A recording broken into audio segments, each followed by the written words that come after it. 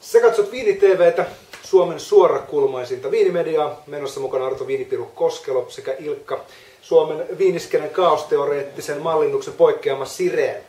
Ei unohdeta myöskään Raikkua, joka tuuraa Jansista tämänkin viikon. Rainer, Rainer sai viimeksi fanipostia tosi paljon. Mä, mä luulin, että Chances, no fanit olisi puolustunut Chansiksi, mutta nähtävästi tälle pitää perustaa oma Facebook-fani. Rainer. Hyvä uutinen on se, että Chances on löytynyt, se ei ollenkaan hukkunut, se on tällä hetkellä ilmeisesti avioitunut vihtiläisen maanviljelijän kanssa ja pyrkii viettämään perhe-elämää siellä suunnalla. Mikä oli sanoa sinänsä yllättävää, koska tietääkseni mies ja ankka ja no joo, unohdetaan se. Ihan normaalisti. Haluatko kertoa, miksi me ollaan täällä tänään? Päivän pössissä on Riesling, monien mielestä kaikkien kunkuin valkoviini rypäle. Maistelussa on sekä Saksaa että Ranskaa. Onko sun mielestä, jos sä saisit valita niin kuin Autiosaari Valkkari, niin olisiko se Riesling? Ei. Mulla se on Chenin Black. Niin sulla mullakin. on? Ei, ei, ei. Loman pesa. Yes. Lähdetään liikkeelle ensimmäisestä vinkusta. Minkä niminen ja paljonko tota... Yes, eli Hintaa. ensimmäinen on, tulee Saksan Pfalz-alueelta Anselman Riesling Classic 2008. Poistuu alkosta kympillä. kympin sopuhinta. Tässä kohtaa, kun sä availet, mä voisin pari sanoa, sanoa Saksan Riesling-skenestä. Sieltä tulee maailman parhaat Rieslingit monien mielestä, myös mun mielestä. Ja ne ei jostain syystä kuitenkaan ehkä ihan sitä arvostusta saanut, mitä ne ansaitsis. Yksi syy on se, että Saksa kuuluu niihin harvoihin maihin, jotka on ilmastonmuutoksen voittajia. 50 vuotta sitten 10 vuoteen mahtui pari ihan katastrofi vuosikertaa, viisi välttävää ja sitten pari hyvää ja yksi huippu. Nykyään ne tekee tasasta laatua sen takia, että aurinko yksinkertaisesti porottaa paremmin. Joten nyt on oikea aika käydä käsiksi saksalaisiin viineihin. Ne ei ole niin paha hintaisia kuin monet raskalaiset. Hyvä. Mä nautin sun puheesta nyt. Sä hit juoda jo puoli pulloa. Mitäs, mitäs tulee täältä? Tuommoista Riesling kukkasuutta, aika runsas väri. Onko tässä jotain sokrua vai? Sitähän ei pysty, sokeria ei pysty haistamaan, mutta sitä voi pyrkiä arvailemaan. Tässä on tämmöistä tiettyä kukkasuutta, mikä Alko väittää, mä pystyn. Se on taito, jotka vaan tämmöiset viiniedit niin kuin Joo, joo, sä haistat suklaapatukasta sokeri, se ei varsinaisesti mikään erityistä. Mutta siis joo, kyllä tää enteilee vähän, että saattaisi olla makeita aika, tota, sieltä tulee tämmöistä pian öö, konsentroitua hedelmää tälleen, että ne saattaa olla roikkunut aavistuksen kauemmas. Joo, jotain semmoista niinku kuivattua aprikoosia, sitten semmoista kukkasuutta, mutta myös sitä petrolia, mikä on parhaissa Rieslingeissä tunnusomasta. Eli vähän sellainen bensapumpun läheisen, läheistön leimahdus, mikä Se, oikeasti siis tuo... on, mut, se on aivan käsittämätöntä. Mutta se on, se Ries- Riesling on kuuluisa siitä, mutta jos miettii, jos niinku ei viinestä tiedä mitään, sitten sulle kerrotaan, että niinku hienoissa viineissä haisee petroli. Joo, ja no, pahimmillaan sehän pieru. on käsittämätöntä. Mikä? Pieru. Yritettiin päästä yksi jakso ilman P-sanaa, mutta sieltä se tuli.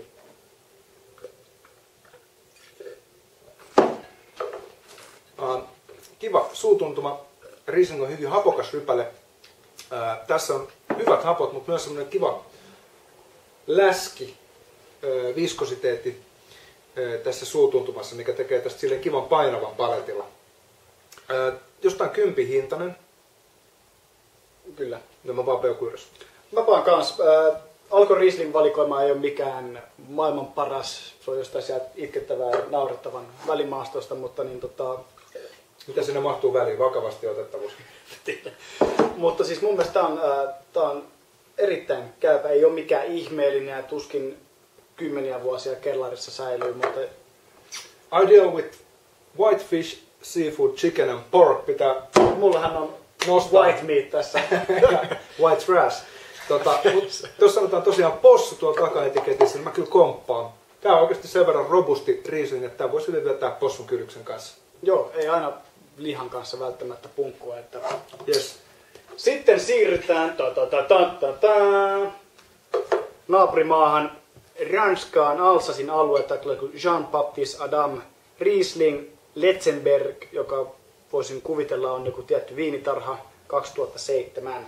Hyvä, kun meillä on nämä taustatiedot niin hyvin alussa. Tota, Alsace Jalos pitää sanoa sen verran, että sehän on seilannut Saksan ja Ranskan omistuksen välillä sit kymmeniä kertoja varmaankin kuluneen tuhannen vuoden aikana. Viimeisessä, päästä. Joo, tämän vedin päästäni, mutta siis eka maailmansodan jälkeen, toka maailmansodan jälkeen se on aina vaihtanut omistajaa. Saksalaiset tunsi sen nimellä Elsas. Siellä oli paljon teollisuutta, Ranska voitti sodan ja nappasi sen itselleen. Nykyään Alsas tunnetaan kuitenkin viinestä. Mutta siellä on hyvin saksalaisvaikutteinen viiniskene Ja foie gras. ja foie gras. Se ei Kuulemma. kuulemma. Foie gras ei ole kovin preussilaista, sanottakoon se. Hei, ne jotka on kattonut meidän ohjelmaa vähän pidempään, niin meillähän oli sohvalla Trimbahin Anne ja Trimbach, joka on varmaan yksi tunnetuimpia Alsasin tuottaja, joka oli kertomassa Alsasin äh, skenestä, niin voitte etsiä sen tuolta meidän ihmeellisestä haku, arkistosta haku, haku boksiin Trimbach tai Alsas. tai jotain. Meidän hakukone on muuten ihan helvetin hyvä varmasti. Sivu, Siinä ei edes hae nappia. Ootko- Ootko muuten huomannut? Se on ihan vasemmalla kenelle. Oh. Okei, nyt on kiva tuoksu. Tässä on tosi paljon semmoista tota, kiveä. Eli semmoista mineraalisuutta, mikä tulee, kun lyöt kiven rikki, graniittimöhkäleet, niin tulee nokkaan tämmönen tietty kivimäinen komponentti. Onko tämä saksalainen tervehdys vai? Mä viittaan! Vihdoinkin tulit kaapista ulos Pride-iskun jälkeen. Tota, ole hyvä. Pyysin, että et kertoa sitä. Oletko sä muuten marssimassa vai kaasuttamassa? Miksi mä olisin ollut molempia? En mä tiedä, sä et niin hävelee sitä pieruja. Anyways, ää, mä uskallan väittää, että tää viini on aavistuksen korkkivikainen. Meinaat? Siitä tulee semmoista niinku märkää pahvimeininkiä snadisti. Ei mitenkään maailman eniten, mutta kyllä mä veikkaan, että ei ole ihan ää, oma itsensä tämä viini. Katsotaan. Mä en pysty sanoa tuosta tuoksusta. Mä en maistanut tätä aikaisemmin.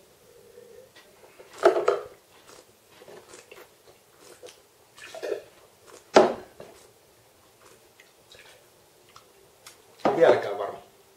Koska loppuun kohden se kiristyy se hapokkuus vähän niin kuin kuuluskin. Tällaista tämä välillä on. Se vaikea saattaa sanoa. olla niin pieni, että sitä on ilman, että sulla on toinen pullo. Niin aika vaikea todeta.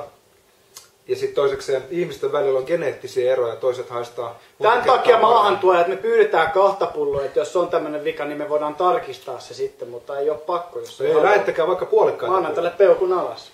Korkki vika. Yök. On se vähän niukka hedelmästä. Mä luulen, että Ilkka on tällä kertaa aivan oikeassa. Sitten takaisin äh, Rieslingin luvattuun maahan Saksaan, Moselin laakso, Schloss Saarestein äh, 2003 Riesling Spetlese. Eli sokru on tarjolla ja vain 8,5 prosenttia alkoholia. Eli ihan hyvä kesäjuoma.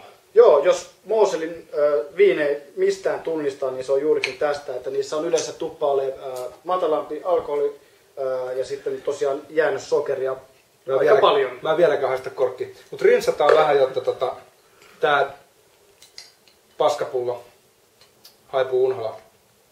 Ei tässä varsinaisesti mitään vikaa ollut, mutta olisi ehkä hiukan niukka. Niukka hedelmältään ja vaan tämmöiset harjaantuneet isonenäiset ihmiset kuin minä, viinijedit, niin kuin me tykätään itseämme kutsua, niin tota, pystyy tämän tapaan. itsehän yleensä juon huittista. We know, we know. Parhaimmillaan jotain tota, makiksen Katsojat on oikeasti fiksuja, niitä ei huijaa ketään. Sen takia mä puhun totta. Totta.